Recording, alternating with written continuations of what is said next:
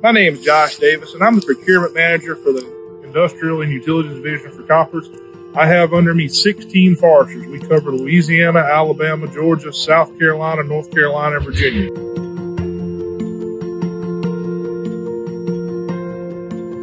We have nine peeling locations we send wood into. We deal mostly with wood dealers and occasionally timber consultants.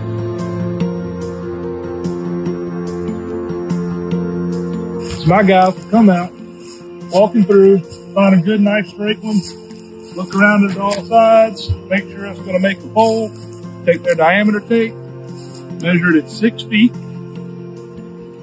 and see how that coordinates to our classing.